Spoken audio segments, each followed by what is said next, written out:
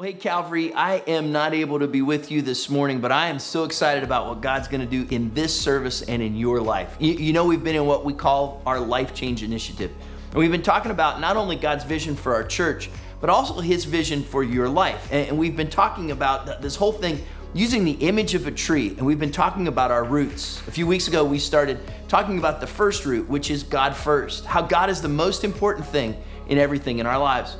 The second root was about our passion, and when that passion is in us, it flows through us. And we talked about this for our church. Our passion is that people are the priority. God loves people, and so we love them too. The third root that we talked about last week was that healthy things grow, and we talked about what it means to be fruitful and to thrive, not only in our own lives, but also in the, in the life of the church. Next week, we're going to talk about our fourth root, which is we get to do this.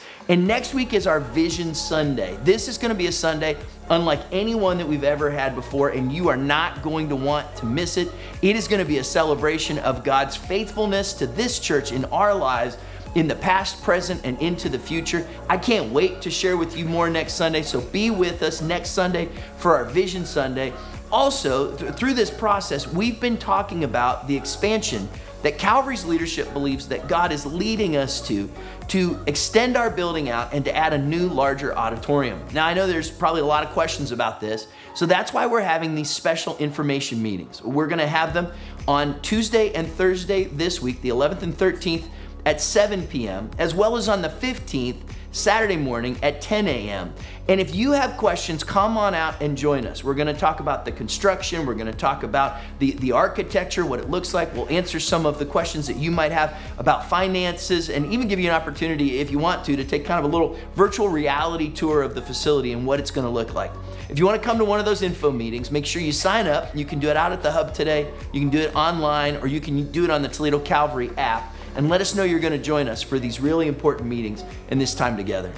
I also want to talk to you just a little bit about the, the financial side of this whole project. You know, each week we've been talking a little bit more about the giving. Our hope is that you will pray about what God would have for you to do. We believe that God's going to bring the resources necessary for us to be able to move forward with this project, but He chooses to do it through me and through you.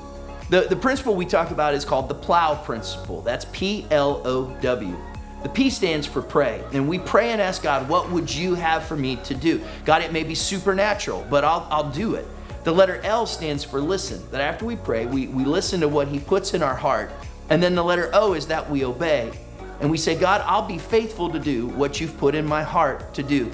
The letter W in plow is to watch because we really believe that when you pray, listen, and obey, you're to watch and see how God not only supplies through you, but then does miraculous things in your life as well. When you might say, well, well, how will I give? What does that look like? We're asking everyone that calls Calvary their church home to consider making a two year pledge to this life change initiative. God, how would you have for me over the course of the next two years to sacrificially give to see this project come to fruition?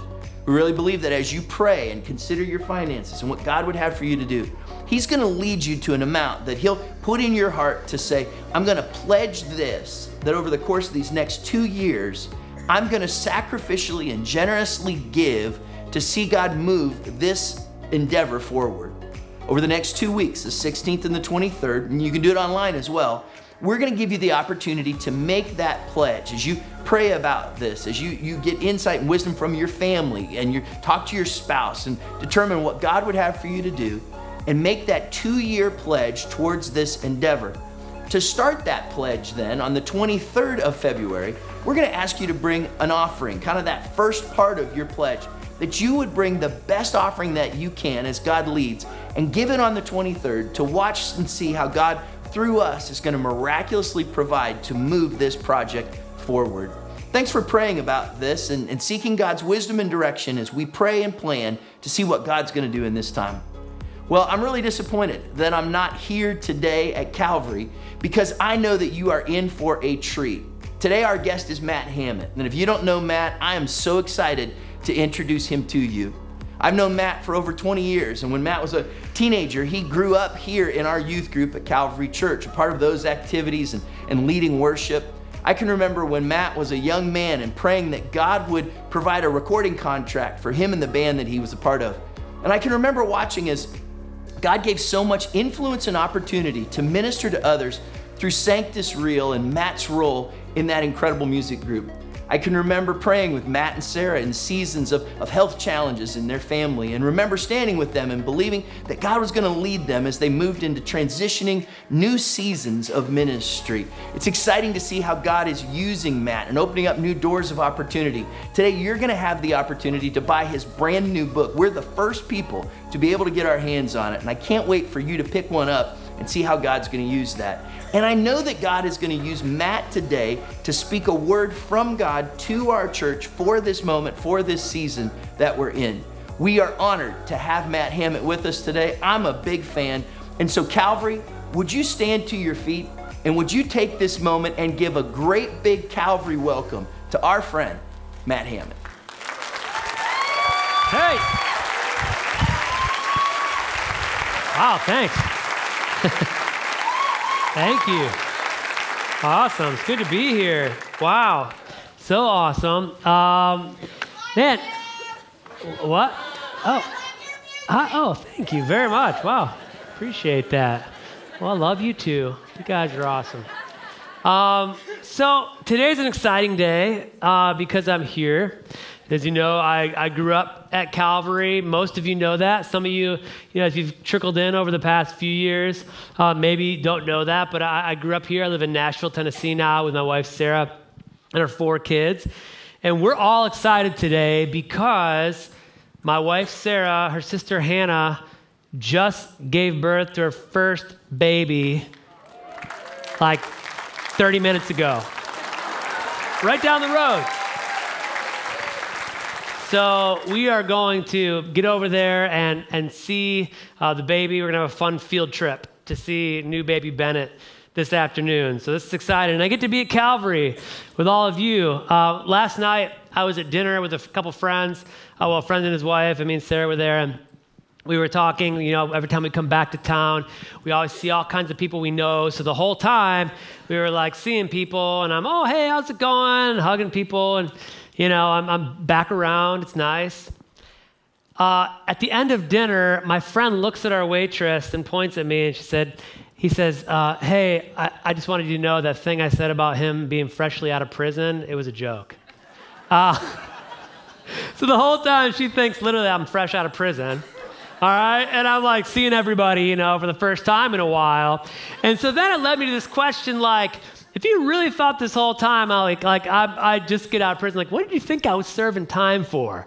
You know, and, and Bob asked her, he's like, yeah, what were you thinking you looking at him? And she was like, oh, I don't know. She's like, I was thinking maybe like, maybe this guy served time for like financial crimes or something.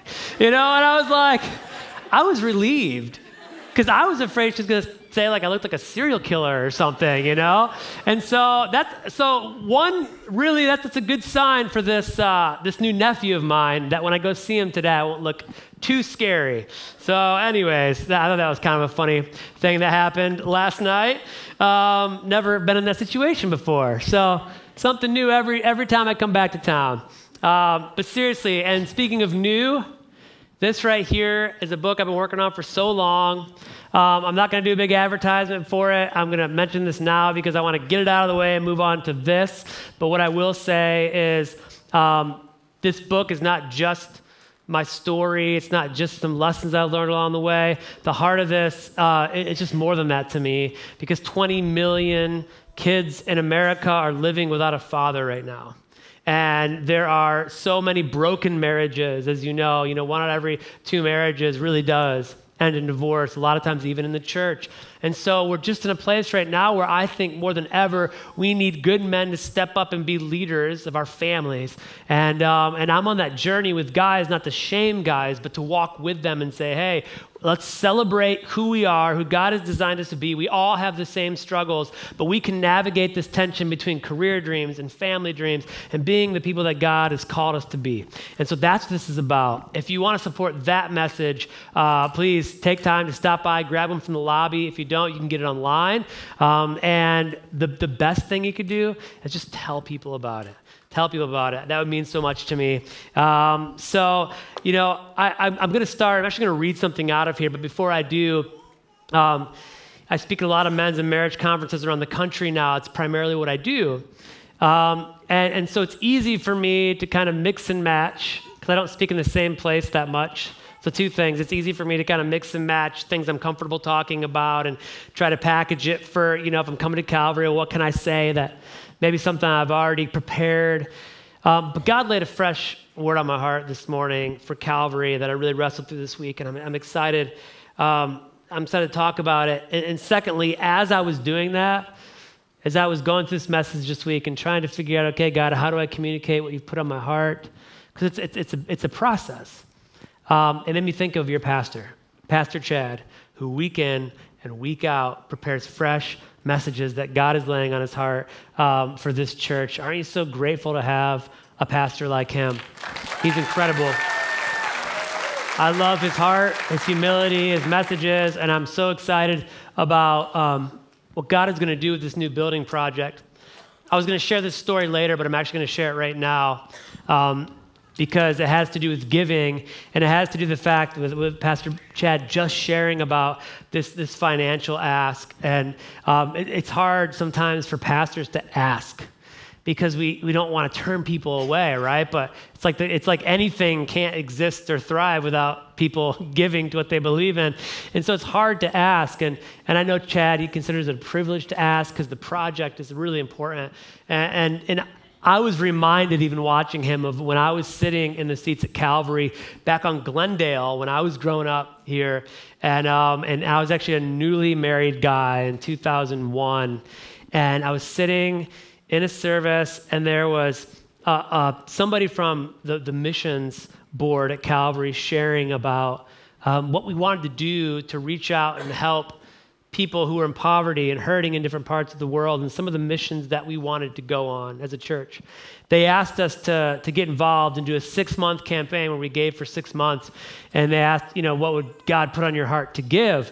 And at that time, I just left any of the random jobs I'd been doing as a rock and roll guy trying to make it with my band and to go full time on the road, to go with my brand new wife, Sarah, we were going to go on the road together in this 15 passenger van and a trailer and, and give up pretty much everything to live on the road and chase this dream. God bless my wife for doing that with me back then. And Jody, you were with us too. Man, you, you were there. And uh, I'm so grateful that these women in our lives were willing to make these sacrifices. They did not go unseen. Um, and, but I'll tell you, we were making $800 a month.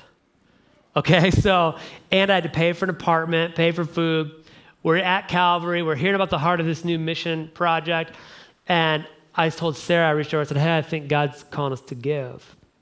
And she kind of like got that nervous look on her face, like, we do we much money, we already tithe, you know, like, what are you talking about here? And I said, I'm thinking $100 a month. And she just like, like her eyes, I mean, at that time, it was like a lot of money for us. And she like, she said, you know what? I'm going to trust it. We're going to go with it. So for six months, we give $100 a month. And at the end of that six months, our insurance company, our health insurance company, and I've, ne- I've never, I don't even to this day understand how this happened, why it happened. It's never happened to me again. But our insurance company that we had been buying medical insurance from, I don't even know it went public or private or something happened where they said, hey, you're shareholders, and we're sending you your shareholder check for $600. and so in that, I saw like we made a huge sacrifice, but in that, God showed us that He was right there with us in it, providing every step of the way. And I know as you guys walk into this new project, that if you're feeling in your heart that God's calling you to give, that He's right there with you every step of the way. He'll honor that gift, He'll honor that decision. Um, the message I want to I wanna share today. Um, the title I gave it was The Invitation of Hope. The Invitation of Hope. And I want to read just a couple paragraphs from the opening of the first chapter of my book, Lead Me. They called me the Barf King. Not the sort of cool name an elementary school kid hopes for. Certainly not Ace or Lucky or something fast athletic kids get like Flash. Those would have been good nicknames. But when you're a first grader with a nervous stomach who upchucks in front of the water fountain while your classmates are lined up to get a drink? Barf King it is. I can't recall who blessed me with such a clever nickname. Maybe the janitor whispered it around the halls as payback for all the times he had to carry his push broom and sack of red sawdust to the scene of my latest spew. Boy, that guy must have hated me. I grew up in a neighborhood just northwest of downtown Toledo, only a mile away from the hospital where I was born.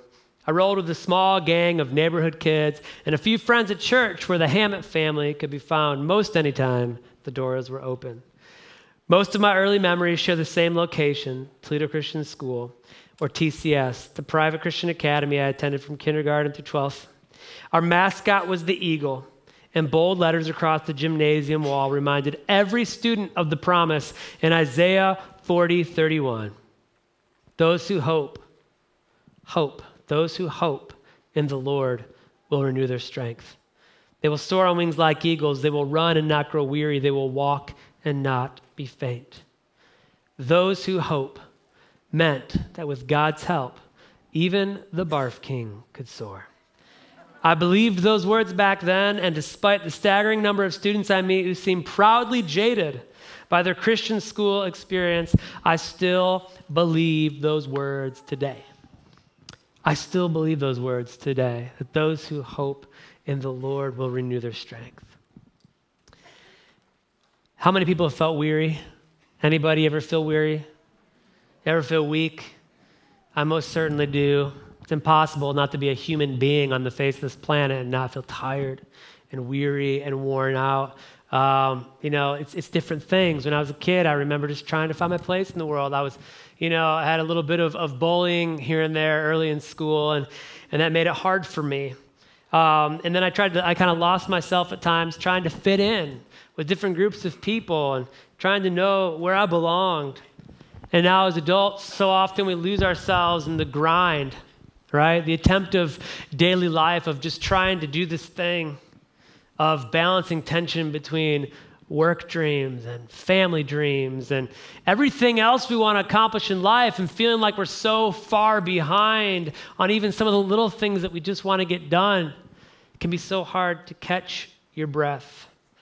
Sometimes it's my kids fighting about Fortnite, you know that wears me down. Anybody else deal with that issue? I see you, buddy. It's all right. I love you. You're good at it, by the way. Lewis is down here. He's like, Dad, what are you talking about? Like, don't take my Fortnite away. All right, all right. We'll talk about it later. So, you know, it's all these little things, all these little things in our lives. It can be the smallest, most silly thing that we're trying to navigate at any given moment that can just be that last little straw that breaks our back the weight, the burden. You know, growing up at Calvary, I think about some of the challenges that we face, um, that we have faced over the years. And some of you have been here long enough to have weathered many changes. For those of you who haven't, I want you to know that this church has been built on uh, generations of faithful people who served and who stuck around through really hard times I remember multiple times that we lost pastors. I remember um, a, really bad church split we had not too long after we came to this church when I was a kid. And, and then again after that, I remember the disappointment of seeing several other pastors leave and people would, would splinter off. And many of you have been part of church splits where it's just such a, a sad, I'll just say sad thing to go through. And, and, and one of the most important things for me, one of the greatest gifts in my life was that I had parents who never put their faith in people. They put their faith in God. They served this church and they served its people through every painful transition. And even though they told us the truth through it all, you know, and, and, and I've carried that on, telling, telling your kids the truth about things. They told us the truth, but they never spoke an ill word of anyone that I can remember. They remained faithful to God and to each other and to the people that make up this great church, Calvary. I'm so grateful for parents who had that kind of faith. Christians were, were kind of crazy sometimes. We're kind of crazy because, you know, we get hurt and, and uh, we get wounded and we still stick around. And even though we may feel bitterness, sometimes we want to blame God or people, we struggle through those feelings.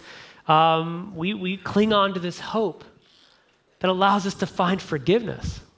We cling on to this hope that we find in Christ that allows us to keep moving on. We find this hope that allows us to soar on wings as eagles, to run and not grow faint, even though we've been wounded over and over and over again. Where does this hope come from? This resilience. It's because we know this Romans 5 1 through 5. Since we have been justified through faith, we have peace with God through our Lord Jesus Christ, through whom we've gained access by faith into this grace in which we now stand. So we've come to grace. We found peace in God through Christ. And now we boast in the hope of the glory of God. Not only so, but we also glory in our sufferings. That sounds crazy, right? Glory in our sufferings? What does that even mean? But here's, here's more of what we know, according to Paul, because we know that suffering produces perseverance, perseverance, character, and character, hope. And hope does not put us to shame, because God's love has been poured out in our hearts through the Holy Spirit who's been given to us. Glory in our sufferings. Sounds like a real crazy concept for people who don't know hope the way that we've come to know it in Christ. There's an extreme example of hope that I was hesitant to bring up today, but I couldn't stop thinking about it. As I kept talking about hope, I couldn't stop thinking about it because this was a recent thing that happened. Uh, there was a big church in California. Some of you will know what I'm talking about. Uh, a big church in California where one of their worship leaders lost a child tragically. So sad. And then two days went by and, three days went by. And on social media, they were calling on people to pray that their child be brought back to life. And, you know, I was like, wow, man, these, that's a lot of faith. It's a lot of hope. And I had mixed feelings about it. Because, right, like, okay, well, where is our hope? Is it, is it in this life or the next? And, and, and what's, I mean, I, there were so many questions I had. And then four days, five days, six days, seven days goes. And they're still saying, we're still believing, the entire church together, praying, worshiping every day, believing for this miracle. And the reason I bring this up is because this, no matter where you stand on the spectrum of how you feel about, about this, um, it forced me to ask myself a question. It forced me to ask myself, how much hope do I have? How much hope do I have? Do I still believe that God can do anything? Yes. Do I believe that God is good even when He doesn't answer our prayers? Absolutely. So, what do I care if hurting parents decide that they want to pray and petition God for their child to come back to life? It looks crazy to the world, but does God need me to save his brand by playing the sane evangelical PR guy? Ah, uh, he doesn't need me. And I got to thinking, what is it about this that makes, I've got to ask myself. And I want you to ask yourself, how much hope do you have? tough question. People need hope. Have you noticed that it's an election year? Anybody notice that? I don't know. You know, it's uh, every time it comes around, we're all in some sort of pain. We see everybody's pain. And look, I'm going to tell you, I pray for the president every single day, um, but I know this. I know this. Our hope is not in any president or in politics or in people. It is not. It is not. Our hope is in God. Our hope is in God. Yes, do we hope for different, or out, an outcome, or do we want to see certain things in our country uh, policies furthered? Of course we do. But you know what? In the end, no matter who you vote for, your hope should not be in a president or politics. It should be only found in God. If your hope is elsewhere, then you've got to deal with that because you're going to be constantly disappointed. You'll be, no matter what side you're on, you will be disappointed if that's where your hope is. But during these election cycles, we see people who all of these passions and all of these longings and all the things they desire for themselves and their families in this country all come to the forefront. And we begin to see this thing uh, this longing. And it reminds me of proverbs 12 13 that says hope deferred makes the heart sick but a longing fulfilled is a tree of life. When i heard chad on the video talking about using the illustration of a tree and the roots it made me think of this. It made me think of all the years I grew up at Calvary and watched all the transitions and watched how my life was shaped by Pastor Bill McGinnis and my parents and all the pastors here at Calvary who, who were just kept pouring in through all the transitions and all the different pains that we felt. It didn't come easy. There were times where I remember where the church felt sick with longing that God would just do something. And here we are. It's a tree. It's a longing being fulfilled that God is bringing a new and fresh season to this church where you can have more ability to share hope with the world that needs it. Hope deferred makes the heart sick. And I want to tell you if you never find Jesus, you stay sick forever. You stay sick forever because he's the fulfillment of hope. See, that sickness is part of the human condition as long as we are in this life and we treat the sickness with, with the wrong medication.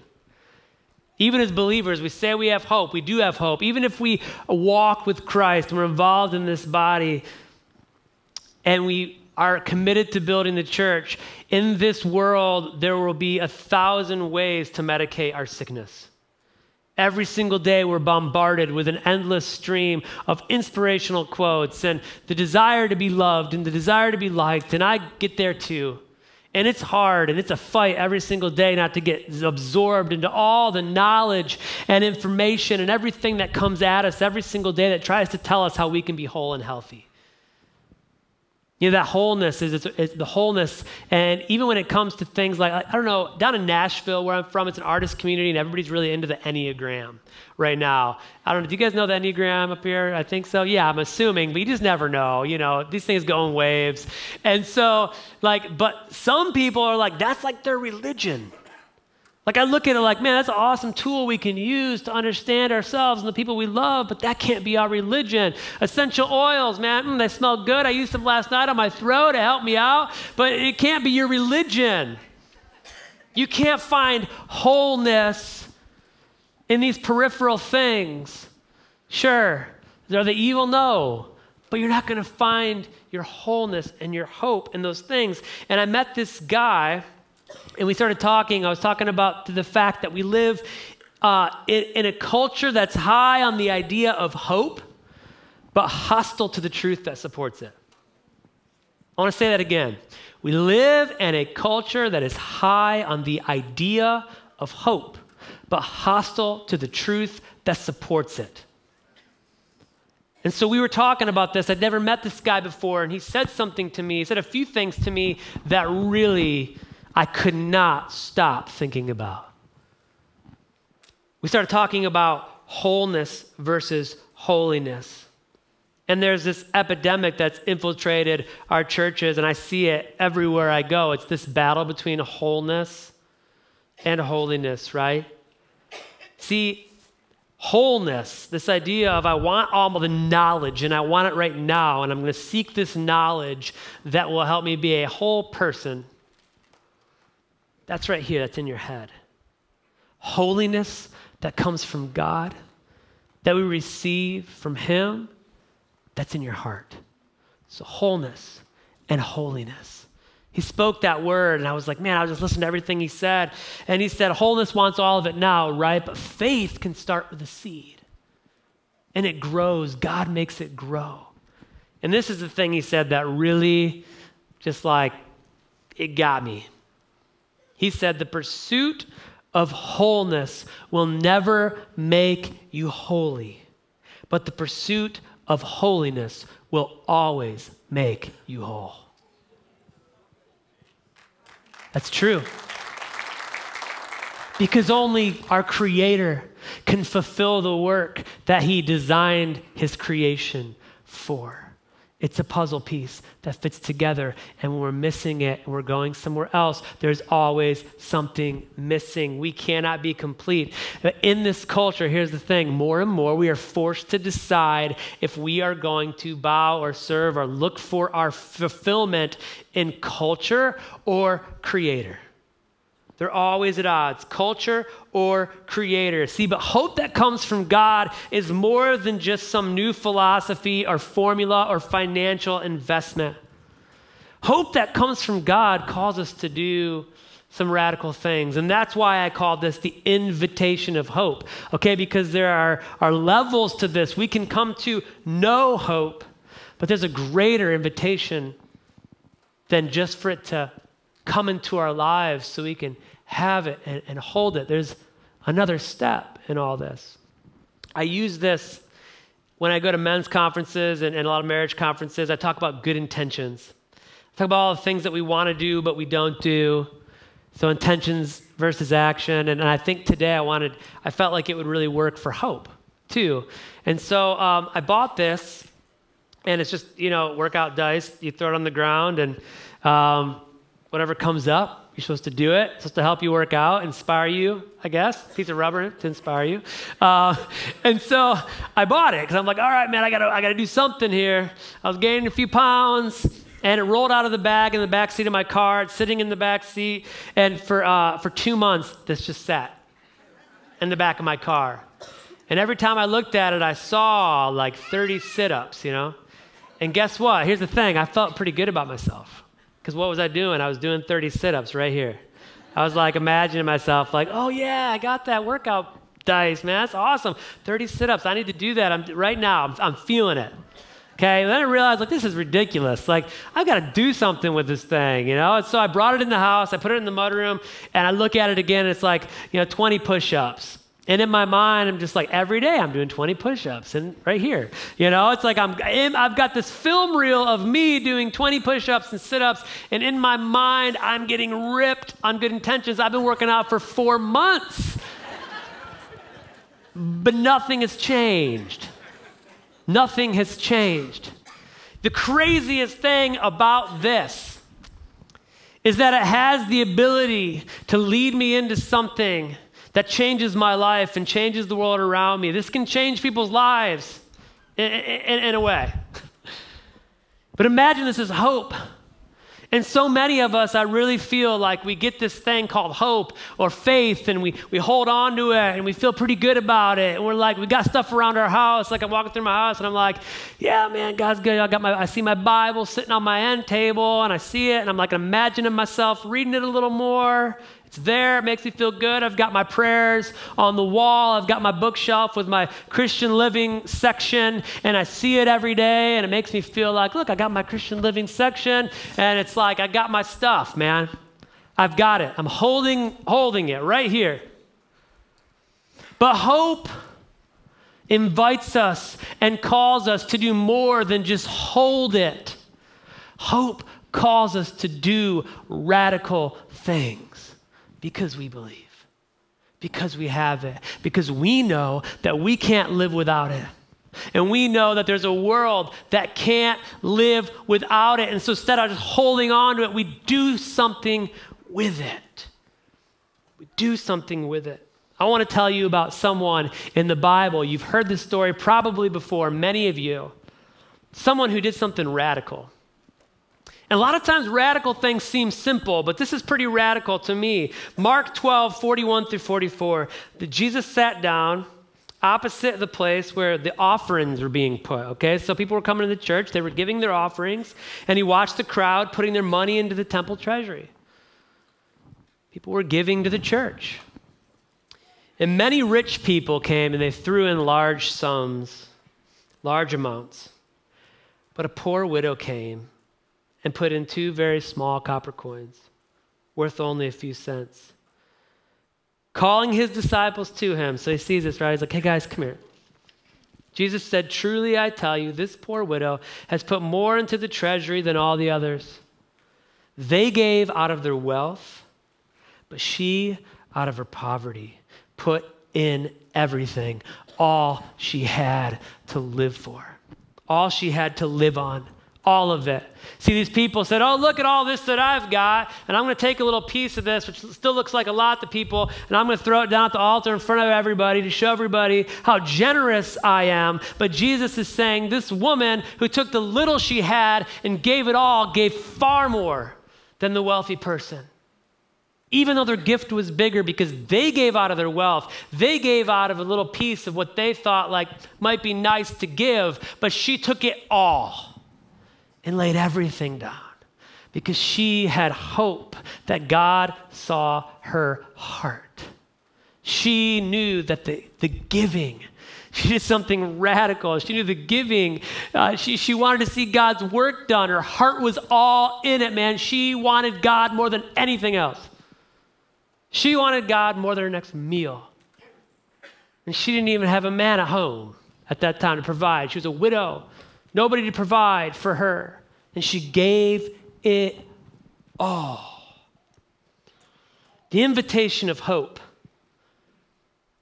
isn't just to hold it, it's to buy into it. To buy into it. And here's the thing when you buy into something, you live by it. If you buy into it, you will live by it. I don't know why I'm hitting this workout ball. It's really, really nice right here. This is hope. When we buy into hope, we don't just talk about God's promises, we live them. We live them. And you know what? It's never, ever, ever, ever, ever, ever, ever too late to buy into hope. It's never too late to say, you know what? I've been looking for hope in all the wrong places. I've been looking for wholeness in places that keep leaving me empty. It's never too late to find hope. Never, ever too late. And the thing about hope that's amazing is hope and faith, when we find the hope that Christ has for us, it doesn't just fill our lives, it causes us to live in ways that affects the world around us, and it becomes a legacy. Legacy. See, hope is a legacy we pass to our kids and our kids' kids to see generations of children who have hope. I want to tell you a story. In 1924, there was a boy named Edmund, born in Brooklyn, New York. His mother, Martha, didn't have the means to take care of him, so she placed Edmund and his brother in an orphanage in the Bronx. In the meantime, Martha earned money as a nanny for wealthy families trying to earn enough money so that she could actually get her own boys back. She'd come visit her boys from time to time. And one of Edmund's last memories was his mom coming to take him out of the orphanage and go see the landing of the great Zeppelin they called the Hindenburg. Little did he know that he'd see one of the greatest modern day disasters take place as the Hindenburg crashed to the ground. Not long after that, Martha sadly died from what should have been a simple procedure, and it left Edmund with very little hope to have a real home. You know, he ran away constantly from every orphanage and every home they put him in. And one of the stories that Edmund would tell was he sat at the back of an orphanage yard and he would sit and watch as the trains went by there was a set of railroad tracks, and he said one day he would sit at the end and he uh, watched a train coming down the line. He could hear it thump, thump, thump, thump, he'd say. He said, That day I thought, jump, jump, jump, jump. He saw an empty coal car coming down the line, and as it passed, he took his first free fall into a train and took his free, first free ride across the northeast U.S. He became a train hopper. When Edmund turned 18, he was free, but he didn't have a home, family, or money, so he joined the Navy. And ironically, he was given the job of landing Zeppelins in the same airstrip where, as a child, he saw the Hindenburg crash. After some time, he was deployed as a gunman on a ship, shooting down kamikazes in World War II in several battles, including the invasion of Okinawa. In one battle, his ship was the only of a fleet that survived. Edmund was an artist and he captured real life battle scenes in his drawings that are now displayed in the Eisenhower Museum. Edmund had a long list of incredible stories, from the orphanage to the war to designing and building his home with his own two hands. He married a beautiful woman named Betty, and they had three kids. They made a comfortable life for themselves, but still there was something inside of his heart that was lacking in hope. He's still looking for something to fill the void. At the age of 49, his wife Betty dragged Edmund into a church against his will. Edmund said, I left angry. I was as mad as can be. I'm never going back. Everybody raising their hands and praising the Lord. He thought they were crazy. Somehow, Betty got him to go back, and at the age of 49, Edmund Hammitt, my grandfather, gave his life to the Lord and decided to follow Jesus Christ. I had the chance to sit down with my grandfather and record me asking him some questions about his stories and his life. And he had a lot of incredible stories that we loved to hear. But when I asked him what was most important in his life, I want you to hear some of the answers that he gave me. Watch this video. I was 49 years old before I accepted the Lord. Anyway, that was my experience with the Holy Spirit and accepting Jesus Christ into my life. Best thing I ever did. It's just been wonderful. Grandpa, what would be your advice to young people, especially young couples? My advice to young couples would be find a, find a good church that preaches the gospel and preaches God's word and get born again. Being born again, a lot of people that are not familiar with the term, they kind of look at you twice like you're out of your tree. If you want a wonderful marriage life. Both, both you and your husband become one. That'd be my advice to a young couple. Grandpa, in light of everything you shared with me today, um, out of all your experiences in life, what would you hope that people would most remember you for? I hope they remember me in my Christian walk and uh, what I did with, with Jesus Christ when I was born again. One thing I'm really pleased with is, and I thank God tremendously for is all the grandkids and the grandchildren and the family. They're all they all accepted the Lord. It's a Christian family, and uh, the Bible tells us that you and your household will be saved. Boy, the Lord sure answered that prayer. Each night when I go to bed, I pray and thank the good Lord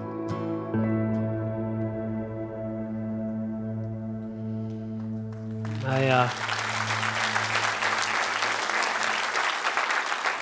so my grandfather, Edmund Eddie, as they called him, went to bed for the last time on January 21st, 2018. I had the honor of singing with my brother at his funeral, and some family members shared.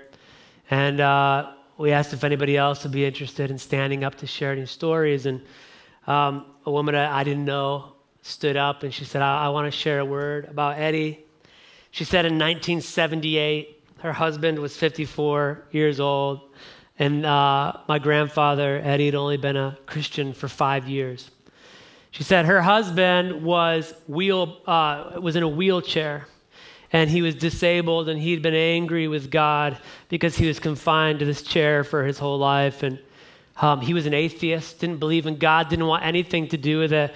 And, and this woman had found hope she had given her life to Christ and she wanted nothing more than to be a Christian family, but he wanted to hear nothing of it. She said one day she got stuck in her house because of a snowstorm.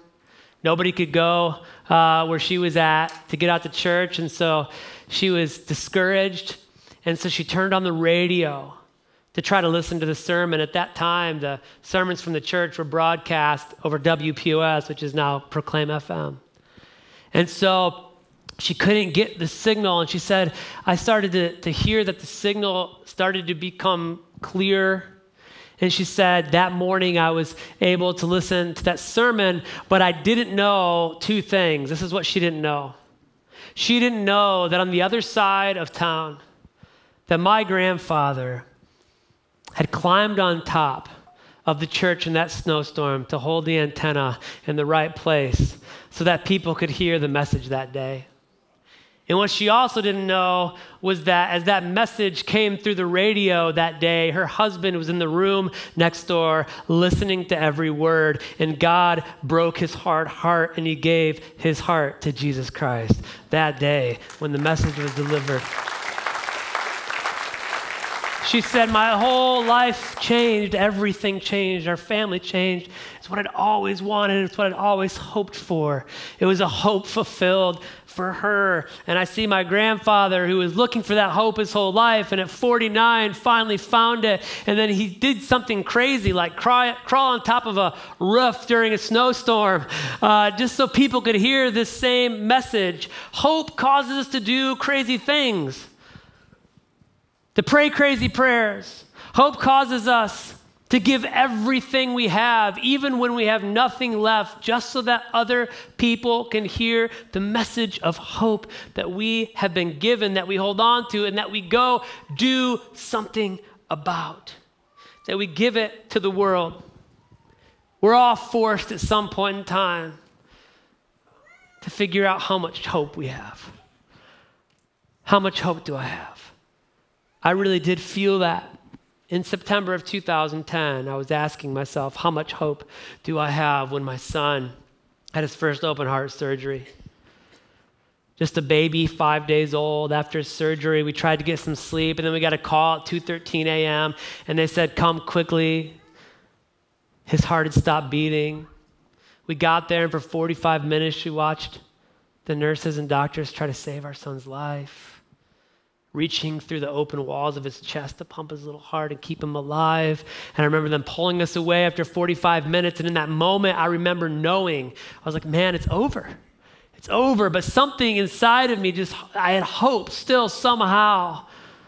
And I just remember praying this crazy prayer just, Father, by the power of the death and resurrection of your Son, Jesus Christ, please save mine. And I didn't know if he would answer my prayer.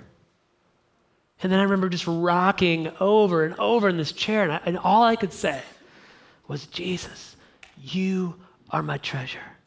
You are my treasure. When sickness and death try to steal from me, nobody can take away my hope. You are my treasure. Moments later, I'll never forget when they came in and told us that Bowen's heart was beating again. And in that moment, I had my miracle. But here's the deal I would have believed, I'm telling you, I would have believed that God was good even if I didn't get my miracle. But the beauty of it now is that I get to see this legacy of hope. My grandfather, at 49 years old, like I said, receiving that hope into his life, then he passed it on to his kids. I watched my parents faithfully serve the church in the midst of hardships and trials and splits and pastors leaving and heartache and losing friends, and they kept serving because they had hope. They passed that hope to me. I did stupid, crazy things like hop in a van and make no money and go out and try to share a message that I believed in at so much cost. And now, nine years later, three open heart surgeries later, and it's not just Bowen, but it's all my kids, my beautiful kids. I'm grateful for every single one of my kids. But now I get to pass the legacy of hope onto my kids. And one of the most amazing things that's happened for me over the past year of my life is to not only see my kids be amazing siblings to the little brother as he's gone through his third open heart surgery, but to watch my son Bowen write songs about hope as a nine year old as he goes into this surgery.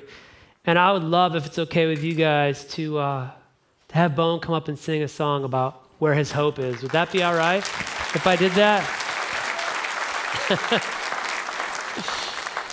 come on, buddy. I want to thank the worship team for letting me borrow their guitar. Bowen, are you ready for this, dude? So, leading up to his uh, third open heart surgery this summer, you know, we worked on an album and we finished up a few songs. Um, and this is one of them. It's called Safe Right Here. Yeah, I am going to be right. You are? Yeah.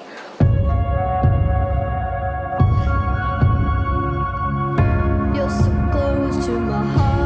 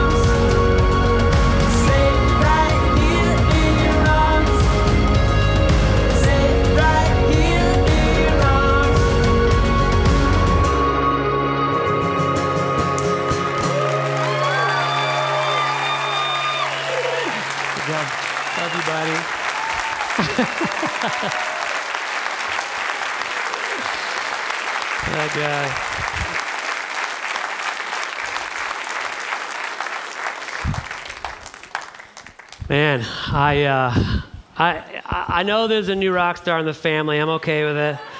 I'm getting edged out here. It's all right. Happy to step aside. Um, I love it. I love it, man, to get the opportunity. Thanks for singing, Bo, and thanks to all my kids for being here. And we're excited to go see new baby Bennett, our new cousin, this afternoon. Here's the deal. Here's how I want to end. Um, I can put together like tidy little sermons, and uh, and that's good.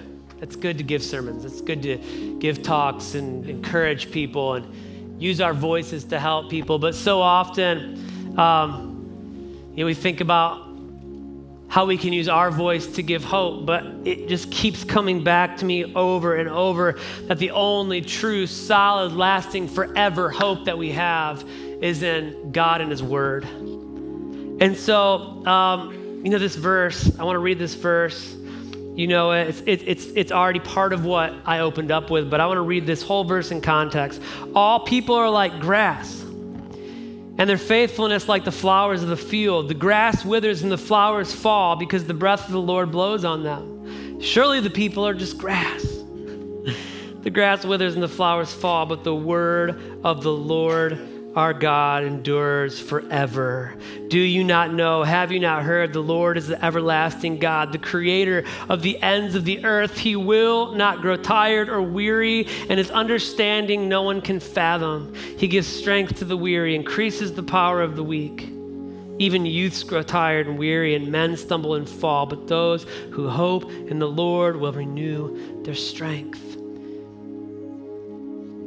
I was getting ready to speak at a marriage conference at Word of Life, which is a, a big organization. It's a camp uh, up in, in a Bible Institute up in um, uh, Adirondacks. And I was getting ready. Again, I had my little, my little stack of, of, messages. And then I saw this little laminated card kind of peeking out at me. And I saw, like, I was, okay, what's this? And I pulled it down, and it was just all this scripture saying who God says I am. And in all of my insecurity, did I prepare my message right? Am I giving the right messages? Are people going to like me? Am I going to say the right things? I, is it going to matter? I just read this card and I was like, so I'm going to read it to you. And I'm going to read all the things from God's word about who we are and the hope that we have. And that's how I just want to send you away today. So, however you need to receive that, you can watch me as I read. You can close your eyes. You can look at the ground. Whatever you need to just listen and, and soak this into your hearts. The enemy of your soul, the lie is this that you are a sinner because you sin. God's truth is you are a saint the enemy's lie is that your identity comes from what you have done, but God's truth is that your identity comes from what God has done for you. The enemy's lie is your identity comes from what people say about you. God's truth is that your identity comes from what God says about you. The enemy says your behavior tells you what to believe about yourself. God says your belief about yourself determines your behavior. Let's go on. This is what you are. This is what God's word said you are. You wonder why we have so much hope. Listen. Matthew 5, I am the salt and light of the earth. John 15, I'm a branch of the true vine. John 15, 16, I've been chosen to bear fruit. Acts 1, I'm a personal witness of Christ. 1 Corinthians 3, I am God's temple. 2 Corinthians 5, I'm a minister of reconciliation for God. 2 Corinthians 6, I am God's co worker. Ephesians 2 6, I am seated with Christ in the heavenly realm. Ephesians 2 10, I am God's workmanship. From Ephesians 3, I may approach God with freedom and confidence. John 1, I am God's child. John 15, I am Christ's friend. Romans 5, I have been justified. 1 Corinthians 6, I'm united with the Lord. 1 Corinthians 6:19, I'm bought with a price. I belong to God. From 1 Corinthians 12, I am a member of Christ's body. Ephesians 1, I am a saint. Ephesians 1 5, I've been adopted as, a, as God's child. Ephesians 2, I have access to God through the Holy Spirit. Colossians 1, I've been redeemed and forgiven. Colossians 2, I am complete in Christ. Romans 8, I am free forever from condemnation. I'm assured that all things work together for the good. I am free from any charge against me. I cannot be separated from God's love. Second Corinthians, I'm established, anointed, sealed by God. Colossians 3, I'm hidden with Christ in God. Philippians 1 6, what God has begun in me will be perfected. Philippians 3, I'm a citizen of heaven. 2 Timothy 1, I've not been given a, power, a spirit of fear, but of power, love, and sound mind. Hebrews 4, I can find grace and mercy in my time of need. 1 John 5, I am born of God. The evil one cannot touch me. Cannot touch me. Philippians 14, 4:13, I can do all things through Christ who strengthens me. He is our hope. Let's pray. God, thank you so much for the opportunity we have to just partake in hope like a good healthy meal today. God, we're just we're so grateful that that you feed our spirits and our hearts. You want to do more of that for us.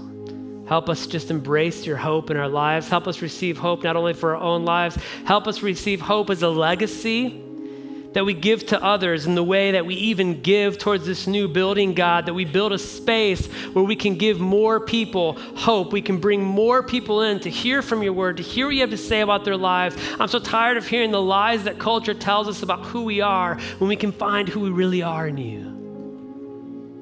We want to give that hope to the world, God, but before we can, make it come alive in us. Help us receive it so that we're willing to do some radical things to change the world.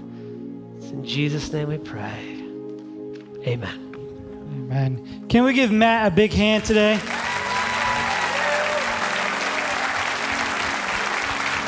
Yeah.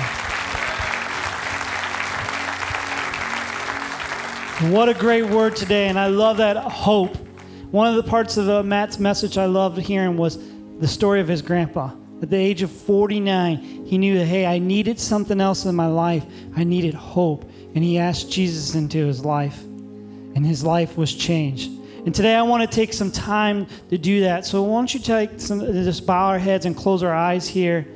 If that's you today and you say, hey, I need hope today. I need a relationship with Jesus. Just raise your hand today. You say, I want that. There's many hands going up today. You know, it's not too late. I want that hope.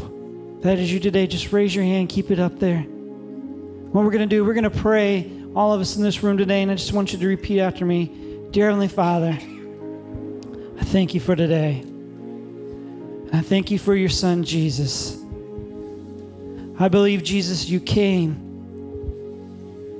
to this earth and died on a cross for my sins. I ask you, Jesus, to come into my heart and wash away my sins and let me live a life for you. In Jesus' name I pray. Amen. Let's give everybody a hand that raised their hand today. Awesome. Praise God. What I'm going to ask on the way out, you can find these on our back wall. One of these cards that says, I have decided. Take some time and fill it out and take that to our connection center. We have a team in there that would love to pray with you and give you a Bible today you know and if you're saying you're here today and you say hey I'm, i just need some prayer today you can head to the connection center there and we'll have a team. Again that'll pray with you for any needs you have there. Encourage you to stop in the atrium stop by matt's table pick up this book meet bowen and encourage you to be back here next sunday for vision sunday. Have a great week. Thank you